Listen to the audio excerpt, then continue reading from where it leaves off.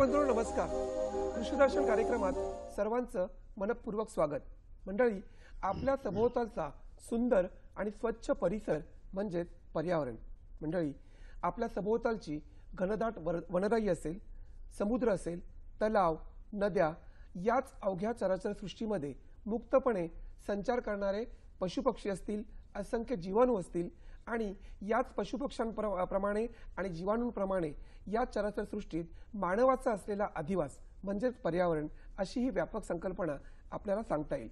परंतु मागील काही दशकांचा जर आपण गांभीर्याने विचार केला तर आपल्या असं लक्षात येईल की पर्यावरणाचा ऱ्हास होतोय पर्यावरणाचं संतुलन हे बिघडतंय असं सातत्याने अनेक माध्यमातून बोललं जात आहे मंडळी याच पर्यावरणाच्या असंतुलनाचे दुष्परिणाम देखील आता दिसू लागलेले आहेत.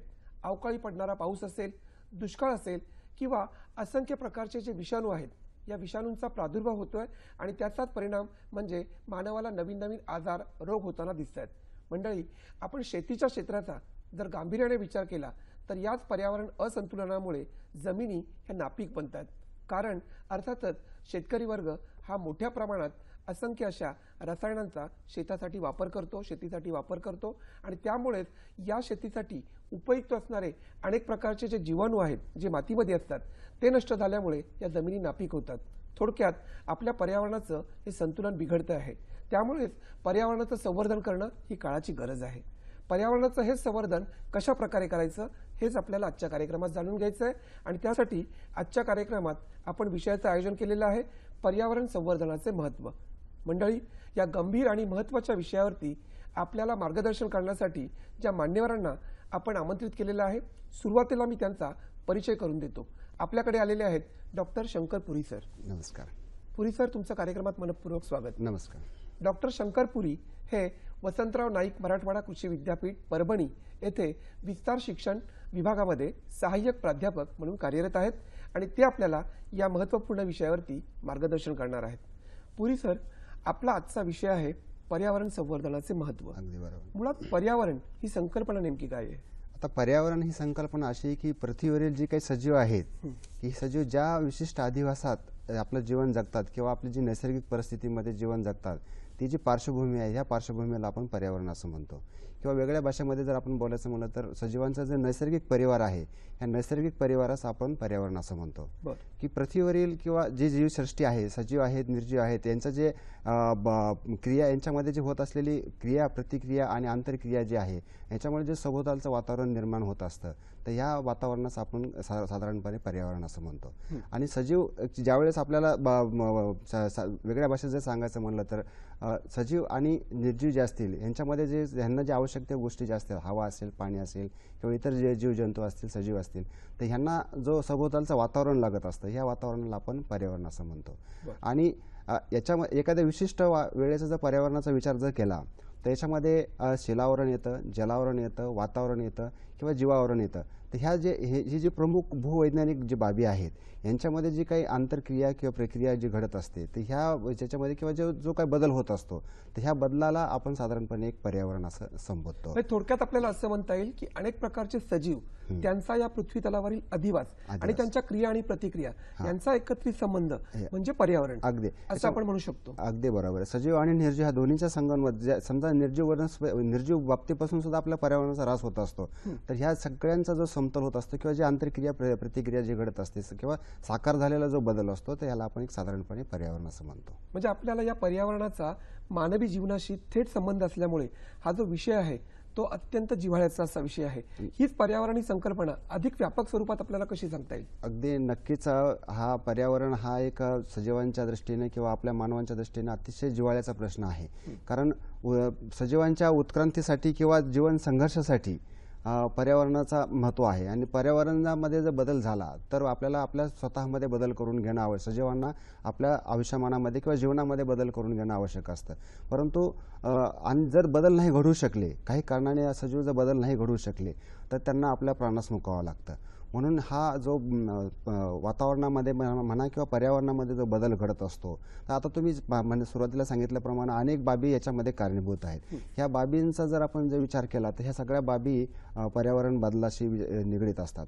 आणि हा पर्यावरणामध्ये झालेला मग वातावरणामध्ये तापमान वाढ असेल किंवा हवेमधलं प्र- प्रदूषण असेल किंवा नैसर्गिक साधनसंपत्तीचा अतिरिक्त वापर असेल ह्या सगळ्या बाबतीमुळे जे पर्यावरण बदल झालेलं आहे ह्याच्या ह्याच्याशी आपल्याला स्वतः सजीवांना जुळवून घेणं भाग असतं जेणेकरून आपल्याला तग धरता येऊ शकते. मध्यंतरी मी असं एक वाचलं होतं की संशोधकांनी संशोधन केलेलं आहे की हिमालय जो आहे तो वितळू लागलेला आहे हो. आणि त्याच्यामुळे अनेक वर्षापूर्वीपासून.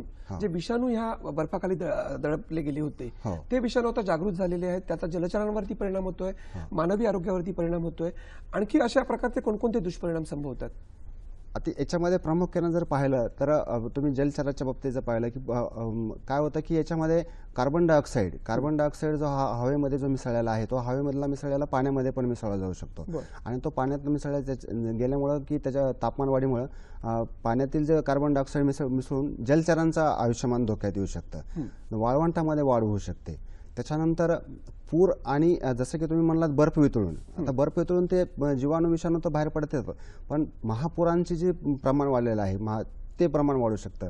किंवा दुसऱ्या भाषेमध्ये जर आणखी जर सांगायचं झालं तर आपण जे कार्बन कार्बन चक्र निसर्गातलं जे कार्बन चक्र आहे हे कार्बन चक्र थोडक्यात बिघडले बिघडत जात असतं बिघडलेलं आहे. आणि सजीवांना आपलं अन्न निर्मिती करण्यासाठी कार्बनची जास्त प्रमाणामध्ये गरज असते. परंतु भरपूर प्रमाणामध्ये वृक्षतोड झाल्यामुळं कार्बन चक्र बिघडलेलं आहे. आणि कार्बन चक्र बिघडल्यामुळं हे उष्णतेमध्ये किंवा वातावरणामध्ये तापमान वाढ होते. ज्यालाच आपण ग्लोबल वॉर्मिंग म्हणतो किंवा जागतिक तापमान वाढ सुद्धा असं संबोधतो. आणि याच्यामुळं वाळवंटामध्ये वाढ होऊ शकते उष्ण उष्णतेमध्ये वाढ होऊ शकते काही काही अंशी काही ठिकाणी पूर असेल काही ठिकाणी दुष्काळ असेल. ह्या जरी विरोध असेल पूर आणि दुष्काळ ह्या जरी दोन बाबी वेगवेगळ्या असतील तरी पण ह्याचा जो उगम आहे तो हा पर्या पर्यावरणामधला झालेला जो बदल आहे किंवा ह्या वातावरणाचा झालेला जो बदल आहे ह्यालाच आपण त्या ठिकाणी त्याचं मूळ असं संबोधतो. आता तुम्ही पाहिलं असेल की जसं की तुम्ही म्हणालात की नदीमधून बर्फाच्या खालून जे जीवाणू येऊन काय परिणाम होतो? परंतु तुम्ही एक पाहिलं असेल की आपला हंगाम बदलतोय. बरं. सध्या जर पाहिलं तर आपले ऋतू बदलत असतात. बद बदल्यासारखे आहे. आपला जो पेरणीचा कालावधी तो पेरणीचा कालावधी जो जो पाहिजे त्या कालावधीमध्ये आपण पेरणी करत नाही. होऊ शकत नाही. कारण त्यावेळेस आपल्याला पर्जन्यमान नसतं कारण ऋतुमानाचं चक्र बदललेलं आहे. अगदी स्थल आणि काल जे वितरण आहे पर्जन्यमानाचं स्थल आणि काल वितरण जे आहे ते बदल झालेलं आहे. कारण वातावरणामध्ये तशा तशा पद्धतीचा बदल झालेला आहे. तर हे हा बदल आपल्याला आपण सांगितलं की उत्कर्षासाठी आणि संघ जीवन संघर्षासाठी जो बदल करून घेणं आवश्यक आहे तो हा बदल. आपल्याला जसा ऋतू बदलेल त्या पद्धतीनं आपल्याला त्याच्यामध्ये बदल करून आपल्याला पेरणी करणं आवश्यक आहे. त्या पद्धतीची पीक पद्धती अवलंबणं आपल्याला आवश्यक आहे. आपण पाहिलं असेल की बाबा आपल्याला गव्हाची पेरणी करायची. गव्हाची पेरणीसाठी आपल्याला थंडीची आवश्यकता असते. पण कडाक्याची थंडी कधी आली आणि कधी गेली हे आपल्याला आठवावं लागतं. तुम्ही या वर्षीचं सीझन पहा. या सीझन जर तुम्ही पाहिलं असेल तर आणखीन आपल्याला थंडी जाणवत नाही. आता काल सकाळी आपण पाहत होतो म्हणजे मागच्या आठवड्यामध्ये आपण जर पाहिलं असेल किंवा मागच्या महिन्यामध्ये पाहिलं असेल एक महिन्यापासून थंडीचा कालावधी आहे. परंतु आपल्याला असं जाणवत नाही की कडाक्याची थंडी कधी आली. परंतु आणि ह्याच्यावरती आपल्याला गव्हाच्या पेरणीचं अवलंबून असतं. परंतु आपली जी शिफारस असते ते तारखेवर तारखेवर असते. आपण तारखेवर जर पेरणीचा प्रयत्न केला तर त्यावेळेस थंडीचं थंडी नसते. त्याच्यामुळं पिकावरती परिणाम होतो. पावसाळ्यामध्ये उकाडा जाणवतो आपल्याला. बरं. आणि ज्यावेळेस आपल्याला पाऊस पाहिजे त्यावेळेस पाऊस नसतो आणि ज्यावेळेस पाऊस नाही नको आहे त्यावेळेस जास्त. अवकाळी पाऊस पडतो. आता याचं जर चांगलं उदाहरण जर पाहायचं म्हणलं तर यावर्षी आपण अनुभवलेलं आहे की मराठवाड्यामध्ये सुरुवातीला आमच्याकडे दुष्काळ होता आपल्या महाराष्ट्रामध्ये. मराठवाड्यामध्ये. दुष्काळ होता. आणि ज्यावेळेस नंतर पुन्हा गरज गरज नव्हती पावसाची त्यावेळेस अवकाळी अवकाळी म्हणता येणार नाही. अवकाळी नंतर येतो परंतु ऋतुमानामधलाच पाऊस पडला पण असा पाऊस पडला की त्यामुळे सगळ्या सोयाबीनसारखी पिकं पूर्णपणे पाण्याखाली झाकून गेली होती. तर असे वि- अनिष्ट परिणाम हे पर्या पर्यावरणातील बदलामुळे किंवा प- पर्यावरणाचा ऱ्हास झाल्यामुळे होऊ शकतात.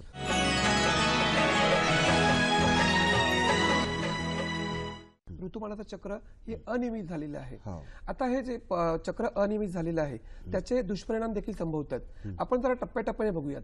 सर्वप्रथम मला असं सांगा की भूभागावरती याचे दुष्परिणाम नेमके काय झालेले आता भूभागावरील जर प्रमाण जर प्रथमतः आपण जर पाहायचा जर प्रयत्न केला तर भूभागावरील जो परिणाम होतो तर उष्णता वाढ झाल्यामुळं काय होतं की मृदा जी आहे माती जी आहे आपली ती शुष्क बनते. बर. तर शुष्क बनल्यामुळं काय होतं की त्याचा अनिष्ट परिणाम त्याच्या जीवजंतूचा ऱ्हास होतो. तसंच पिकासाठी ते तशा पद्धतीची जी जमीन किंवा जी मृदा आहे त्या चांगली नसते. त्यामध्ये पिकं चांगली येऊ शकत नाहीत. आणि एक साधारणपणे दुसऱ्या बाबतीत जर- दुसरं जर सांगायचं म्हणतं वाळवंटामध्ये त्याची वाढ होऊ शकते. वाळ वाळवंटामध्ये वाढ होईल. तसंच अनेक जमिनी अनेक जमिनी ह्या आहेत त्या पाण्याखाली जाऊ शकतात. आता हे वेगळं आहे जसं की पूर आणि दुष्काळ जसंच आहे वाळवंट बी होऊ शकतं आणि अनेक जमिनी भू भूभाग हा पाण्याखाली जाऊ शकतो. आणि समुद्राच्या किनारचा जर विचार केला तर काही बऱ्याच अंशी जमिनी आहेत ते खारपड होऊ शकतात. असं एक सर्वसाधारणपणे जर विचार केला तर भूभागावरती याचा आपल्याला परिणाम जाणवताना दिसून येईल. बरं हे झालं भूभागाबद्दल. परंतु वातावरणावरती काय परिणाम होतोय? आता वातावरणातला सगळ्यात महत्त्वाचा जो फरक आहे तो म्हणजे उष्णतामान वाढणार आहे. उष्णतामान वाढण्यामुळे काय होणार की ढगाच्या ढगाच्या आच्छादनात आणि बा- बाष्पीभवन वाढणार आहे. बाष्पीभवन वाढण्यामुळे उष्णता वाढ होईल आणि त्याच्यामुळे पर्यायानं काय होईल की पाण्याचं बाष्पीभवन वाढेल. आणि पाण्याचं बाष्पीभवन वाढल्यामुळे काय होईल की ढगाच्या आच्छादनामध्ये वाढ होईल. ढगाच्या आच्छादनामध्ये वाढ झाल्यामुळे काय होईल की पर्जन्यमानामध्ये सुद्धा वाढ होईल. आता पर्जन्यमानामध्ये वाढ होईल असं आपण म्हणतो परंतु याचं स्थळ आणि काल सापेक्ष जे वितरण आहे हे अनिश्चित असणार आहे. अनिश्चित. म्हणजे यावर्षी आपण पाहिलं असेल की कोल्हापूरला महापूर होता आणि मराठवाड्यामध्ये दुष्काळ होता. कोल्हा म- मराठवाड्यामध्ये अक्षरशः म्हणजे कृत्रिम पाऊस पडण्याची वेळ आलेली होती? आणि कृत्रिम पाऊस पाळला आणि नंतर पुन्हा दोन महिन्यानंतर पुन्हा काय झालं? अतिवृष्टी झाली. तर असा जो परिणाम होणार आहे तो हा प्रमुख परिणाम जो आहे तो वातावरण बदलामुळे होणार आहे.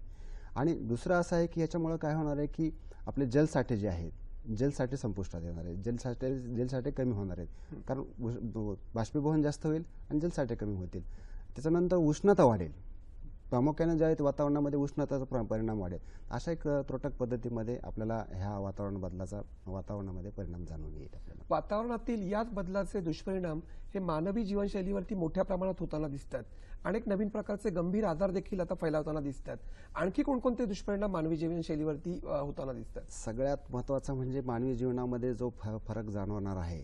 आपण सुरुवातीला उल्लेख केला होता की अनेक जीवजंतू पिकामध्ये मिसळ किंवा अतिरिक्त वापर जो होतो रासायनिक औषधांचा किंवा इतर बाबतींचा तर याच्यामुळे सुद्धा काय होतं की वातावरणामध्ये बदल होत असतो. किंवा ही वातावरण बदलल्यामुळे काय होतं की तुम्ही पाहिलं असेल की सुरुवातीला काय होतं की विषाणूजन्य रोगांची निर्मिती होत होती. परंतु आता काय व्हायला की वा वातावरणामध्ये पोल्युशन आहे हवेचं प्रदूषण वाढलेलं आहे. हवेचं प्रदूषण आणि बदलती आपली जीवनशैली झालेली आहे.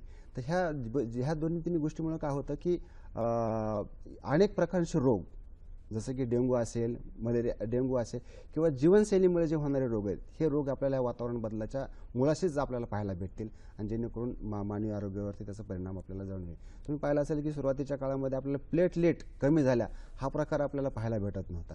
परंतु आता जर पाहिलं की एक आपली स- जी प्रतिकार क्षमता आहे प्रतिकार क्षमता ह्याच्यामध्ये प्रामुख्याने कमी होत चाललेली आहे. आणि प्रति कारण काय होतं की हा- वातावरणातील प्रदूषण हवेचं प्रदूषण आहे कारखानदारीचं प्रदूषण आहे सगळ्या बाबतीचं प्रदूषण आपल्या शरीरावरती परिणाम करणार आहे.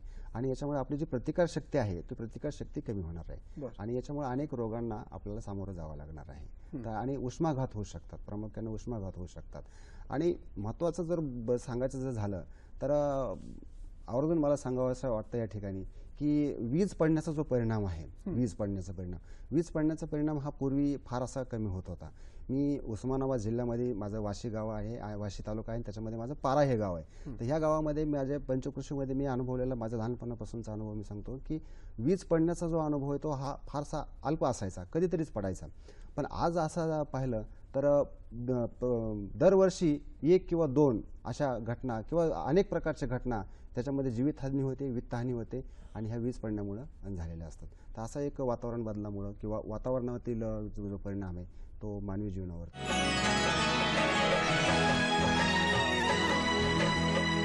परंतु मानवाचा कल असा दिसतो की संवर्धनापेक्षा संहार करण्याकडे जास्त दिसतो. आपण शेती क्षेत्राचा जर विचार केला तर शेतकरी बंधूंच्या दृष्टिकोनातून आपण काय सांगाल की पर्यावरणाचा ऱ्हास थांबवायचा असेल तर त्यांनी नेमकं काय करायला पाहिजे? आता याच्यामध्ये दोन बाबी आहेत. एक तर शेतकरी बांधव बी आहेत आणि सामाजिक समतोल राखण्यासाठी इतर समाज पण आहे.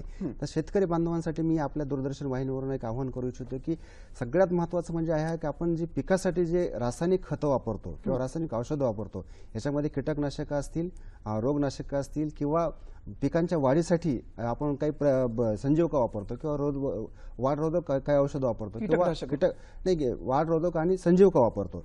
आणि त्याचबरोबर आपल्याला तणनाशकं पण वापरतो. ह्याचा काय होतं की समतोल वापर होत नाही.